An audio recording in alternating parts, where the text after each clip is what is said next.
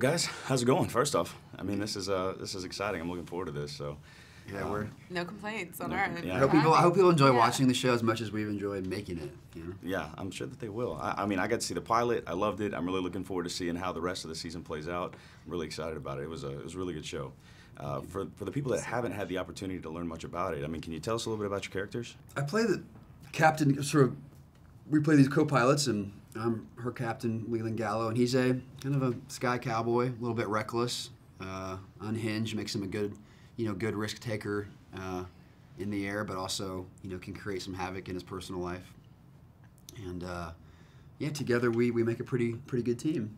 Yeah. Um, I I play Nora Madani, and she is the first female uh, special ops helicopter pilot that gets to be in a combat position in this unit um, of Shadow Raiders, which is modeled after the real 160th. Uh, Night Stalkers, and it's a very elite team of very highly competent individuals, which is really nice to see because we don't always get this very well-oiled machine in the media portrayed, and es- especially with a female um, kind of member in it.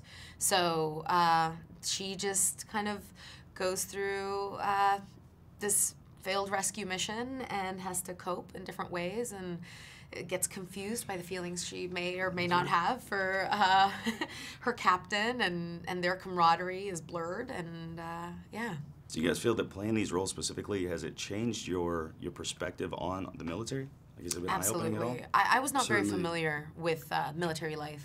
Uh, I don't come from a background, my family, I, I don't have anybody in the military. So for me, it was a fully immersive learning process to uh, learn a little bit about what these individuals go through and what their families go through and the people in their circles go through. So uh, a lot of books, a lot of uh, Shoot Like a Girl and Ashley's War and Black Hawk Down, and a lot of uh, research and, uh, of course, our amazing technical advisor. Yeah. The, the the camaraderie among the military community is incredible. I mean, I, I grew up playing sports, so that might be the closest thing I've experienced to that. But like, being a part of that fraternity is a really special thing, and um, it's strange to say I'm almost envious of that. They've, you know, they're it's a one big family, and wherever these people go, you know, they're a part of it.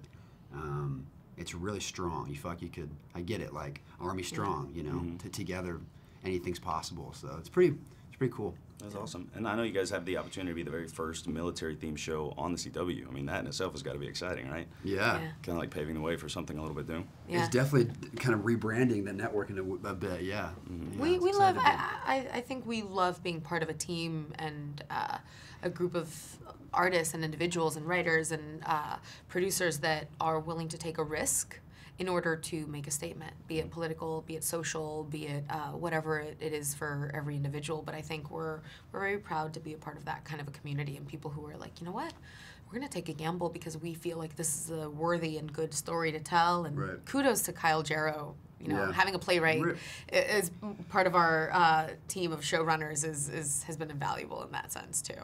And it's, and it's a military backdrop, but it, you know, the core of it, it's about human beings and love and fear, and you know, we all we all fight and die for the same things in life, you know. And do you think that's part of what's going to set this show apart? Because we've got you know a couple other military dramas that are starting as well. I mean, what do you think the big things about about heard of them. Valor Have doing you that? heard Well, of tho- no, but those those shows don't have? Christina. Not on CW. Those, those those shows don't have Christina Ochoa. Well, uh, well, I mean, that, talking yeah, but that's a given. That's a given. I mean, I mean, the audience already knows that, so we've got that part right. But I mean, in general, like as far as a, as far as a storyline, I mean, what's gonna what's gonna really set Valor apart? Uh, I think that the fact that uh, some of the other shows, which we've never heard of, um, are uh, very story driven, very action driven, very plot driven, or mission uh, as um, as it may be, and we are ultimately character and relationship driven.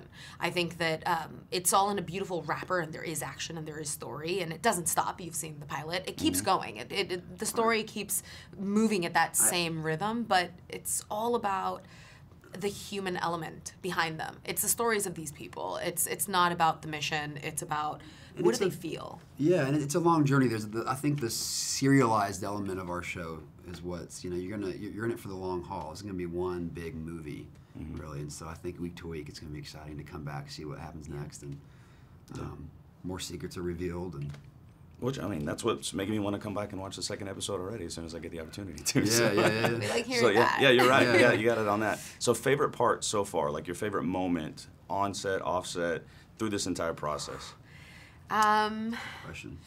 Ooh, that's hard. I, I have very fond memories of uh, our, our pilot when we were shooting our pilot and kind of the family aspect that I, I, I felt for the first time in, in a really long time at work, um, in no small part thanks to our showrunners and our director of the pilot, Mike Robin, who just made it such a wonderful experience and a pleasant place to work. And he gave everybody um, maybe not authority is not the right word, but freedom to really be the best at their job. And uh, it was uh, Yeah. It was just seamless. It was easy. It was fun. Every day you got to set, and we were just like had new toys and helicopters and a buck, and it's like a theme park ride. uh, You know, half the time. So yeah. Awesome. For me, there's a moment where there's a line uh, where the whole unit is out on the airstrip and we all go, "Hooah!" That's what you do. And, and when when you heard it like resound among 200 people, you felt that magic of what you know that camaraderie and that big team really is. And I thought, man, this is what this is what at the heart of the show. This Yeah. is what it is. And so That's was- awesome.